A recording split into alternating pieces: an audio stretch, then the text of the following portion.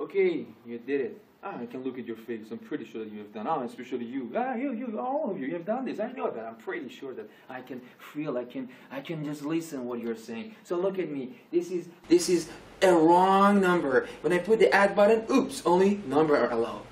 So what is next? What is next? The next is doing the same thing you did for the division button, the div divide operator actually. Let me say vibrate the phone and say, oops, only number are allowed. So just do the same thing you did before for divide operator.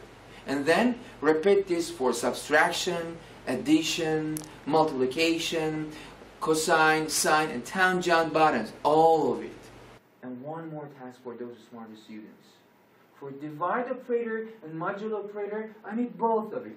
Divide by zero error and this one. That means you have to combine both of them. Then there is something important about it, which is called nested if. Think about it. I'm pretty sure that you're gonna do that. Everything is behind me. Scroll down, look at the file. This is your last step today. Do it quick, fast. And I want to come back and want to see what you have done. And I have a bonus for you. See you a little later. Bye-bye.